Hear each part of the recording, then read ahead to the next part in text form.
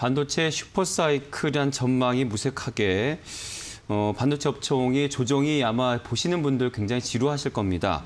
김정우 기자, 이게 지금 뭐가 문제인지 좀 짚어볼까요? 네, 올 초만 해도 이제 반도체 슈퍼 사이클이 온다는 그런 전망이 나오면서 네. 삼성전자와 SK 하이닉스뿐만 아니라 뭐 대만 TSMC와 미국 인텔 등에 대한 기대감이 굉장히 높았습니다. 하지만 최근 들어 이런 반도체 업종의 조정이 좀 길어지는 모습인데요. 삼성전자의 예로 들면 주가가 10만 원을 넘어서 10만 전자까지 간다. 또 많게는 뭐 11만, 12만 전자까지 간다. 이런 전망들도 실제로 있었는데 네. 오늘 이제 기준으로는 주가가 8만 원 선이 깨지면서 네. 어제도 물론 잠시 깨졌었습니다만 오늘은 완전히 깨지면서 7만 전자가 됐습니다. 네. 삼성전자 주가를 이제 11일부터 11일까지 이틀간을 보니까 한 4% 가까이 하락을 했거든요. 네. SK 하이닉스도 8%, 테- TSMC 역시 5% 이상 주가가 급락을 했습니다. 특히 이 TSMC는 앞서 4월 매출을 발표를 했는데 당초 모두가 오를 것이라고 기대를 했는데 전월 대비 매출이 약 14%나 감소를 하면서 좀 충격을 안겼습니다. 네. 상황이 이렇, 이렇다 보니까 이제 투자자들이 좀 혼란스러운 모습인데요. 분명히 이전보다 더 큰 반도체 슈퍼사이클 파도가 온다고 해서 올라탄 상황인데 네. 정작 실적도 별로고 주가도 어, 떨어지는 추세니까요. 전문가들은 좀 코로나 장기화로 인한 일부 제품의 수요 변동이 반도체 업체들의 실적에 악영향을 주면서 주가 상승의 발목을 잡고 있다. 이렇게 좀 보고 있습니다. 실제 스마트폰의 상황을 좀 보니까요. 세계 2위 시장인 인도가 지금 코로나 지옥 같은 상황을 겪고 있어요. 네. 그래서 뭐 통행 금지로 뭐 스- 스마트폰 뭐 구매하거나 자동차를 새로 사거나. 네. 그럴 상황이 아니거든요. 그- 그렇기 때문에 지금 당초 대비 이제 전 세계 스마트폰 출하량이 0.9% 포인트나 하향 조정되는 등 지금 수요 급감의 어, 상황에 처한 상황입니다. 네. 뭐 스마트폰뿐만 아니라 PC 등 다른 IT 제품의 상황도 지금 비슷하거든요. 네. 이런 부분에서 어, 수요 회복이 예상보다 더디게 이뤄지다 보니까 반도체 수요 역시 예상만큼 그렇게 늘지 않을 수 있다. 음. 이런 전망이 우려가 나오면서 투자자들의 움직임을 좀 제한하고 있는 것으로 보입니다. 네. 여기에 또 공급 증가에 대한 우려까지도 좀 나오고 있는 모습인데요. 지금 TSMC부터 삼성, SK, 인텔 등이 막대한 자금을 투자해서 새로운 반도체 공장을 짓겠다. 너도 나도 발표를 하고 있거든요. 전체적으로 봤을 때는 이제 업체들의 대규모 투자 계획이 결국 공급 과잉의 전조가 아니냐 이런 평가가 벌써 나오고 있기 때문에 네. 가격 하려- 하락 우려에 따라서 또 주가를 끌어내리고 있는 것으로 좀 보입니다. 이것만 있느냐 아니거든요. 네. 지금 미국 내 기술주 하락이 계속되고 있죠. 또 백신 보급이 뭐 우리나라를 비롯- 비롯해서 지연이 되고 있는 국가들이 굉장히 많습니다. 또 한파와 정전에 따라서 생산 차질 등 이런 다양한 이슈가 좀 맞물리면서 어, 악재로 좀 작용하고 있는 모습입니다. 네. 이제 업계 소식을 들어보면 뭐 디램 가격도 사실 상승하고 있고 이런 상황이 슈퍼사이클 전망 자체가 뭐 흔들리는 건 아닌 것 같다. 이렇게 또 어, 전망들을 하시던데 전문가들은 뭐라고 평가합니까? 네, 전문가들은 최근 들어 쏟아지는 이제 전망과 우려들이 분명 좋은 소식은 아니지만 반도체 슈퍼사이클 전망을 완전히 꺾을 정도의 요인은 아니라고 보고 있습니다. 그러니까 투자자 입장에서는 좀 다행스러운 얘기일 텐데요.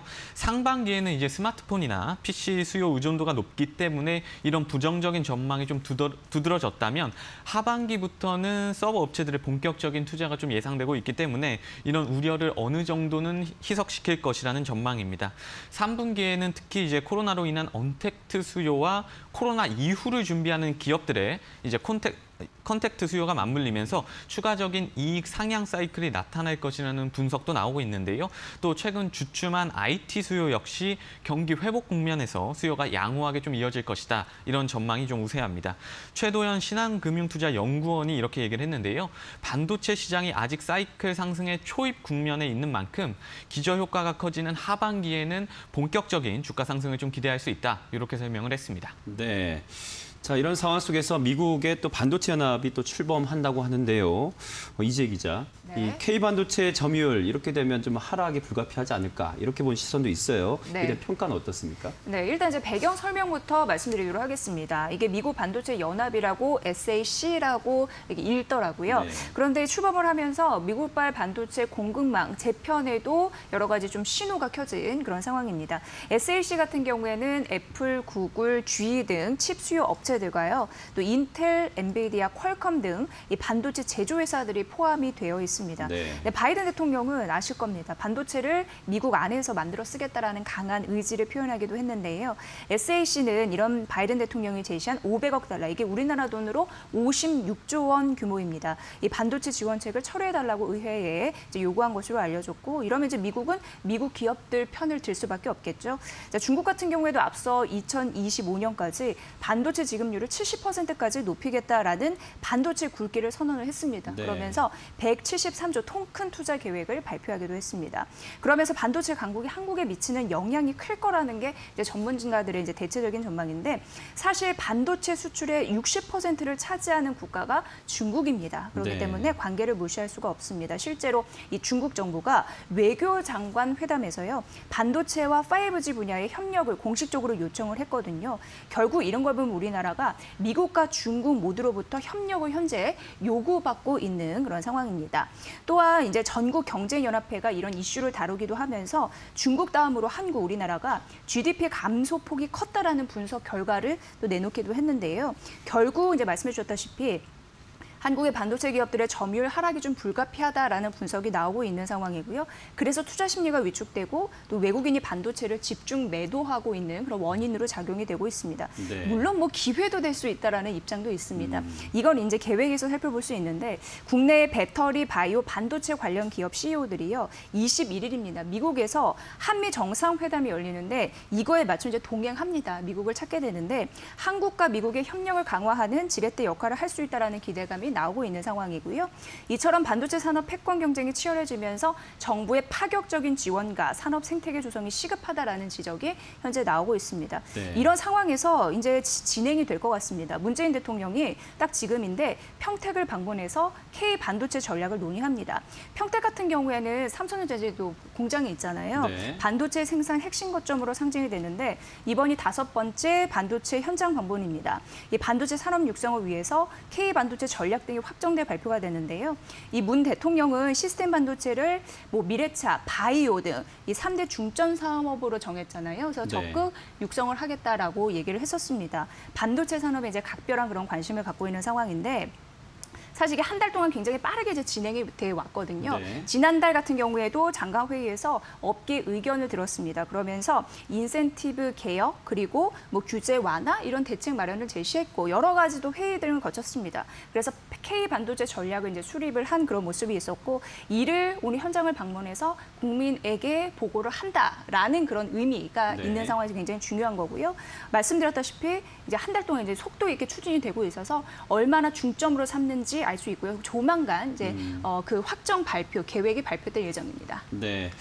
자, 지금 여기까지는 반도체 업황과 우리는 어떻게 또 전략 대응을 가지면 좋을지 이런 것들 좀 참고하시면 될 것 같고 우리 좀 또 폭을 우리 삼성전자 쪽으로 좀 포커스를 좀 더 줄여서 얘기를 해보고 싶은 게 이제 삼성전자 지금 오늘 7만 전자 된 이 상황은 외국인들 매도 공세 컸잖아요. 네, 근데 맞아요. 보니까 예. 공매도 세력들도 이제 삼성전자에 손을 댄 상황인데 이렇게 되면 투자자들 불안 심리도 커질 것 같고요. 네. 삼성전자에 대한 전망이나 투자 전략을 좀 정리해 주시죠. 네, 외국인이 1조 넘는 대규모 매도세가 어제 나왔습니다. 네. 오늘도 역시 보니까 매도 일색이고요. 전체 상장 종목 중에 이 순매도 1위 종목이 이제 삼성전자로 어, 분석이 됐습니다. 네. 전일에도 삼성전자를 8천억 원 가까이 순매도했고요. 오늘 이제 계속 좀 이어지고 있는 상황이고요. 어, 앞에서 들었다시피 골드만삭스 등에서 그러니까 월가에서 기술주에 좀 부정적인 영향을 냈잖아요. 네. 그러니까 미국도 그렇고 대만도 그렇고 기술주에는 그러니까 악재 이런 네. 요소가 지금 계속적으로 나타나고 있는 거고요. 잘 말씀해 주셨지만 지금 주가 하락이 공매도가 어, 현재 이제 부추기고 있는 상황입니다. 네. 공매도 거래 대금이 급증하고 있는 현상이 나타나고 있는 거고요. 11일 급증했는데 공매도 재개는 3일에 재개가 됐잖아요. 네. 보시다시피 이게 나와 있습니다. 지금 삼성전자의 공매도 거래 대금이에요. 3일부터 10일까지 이렇게 쭉 나와 있잖아요. 네. 11일까지. 근데 10일까지는 하루 한 23억에서 49억 수준이었는데 미미했더니 11일 보면 갑자기, 대폭 네, 해버렸어요. 맞습니다. 네. 뛰었습니다. 보시면 840억 원 이상 뛰었잖아요. 네. 예, 이런 현상이 현재 나타나고 있는 상황이고 삼성전자뿐만 아니라 사실 이 표에는 나와 있지 않지만 SK 하이닉스도 그렇죠. 같은 분위기다라고. 얘기할 수 있을 것 같습니다. 시장 전문가들은 이렇게 얘기를 하고 있습니다. 네. 일단 뭐 단기 모멘텀이 부재하기 때문에 어, 주가가 조정은 좀 지속돼서 좀 나타나지 않겠느냐 이게 좀 아쉬운 얘기를 했는데 반도체 실적 전망은 양호합니다. 그래도 차익 실현 매물이 나올 가능성을 언급을 한 상황이었고요.